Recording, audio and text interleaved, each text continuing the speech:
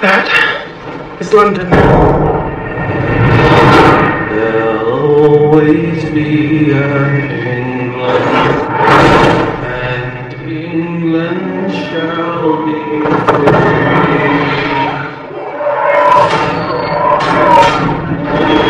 England means us all to you.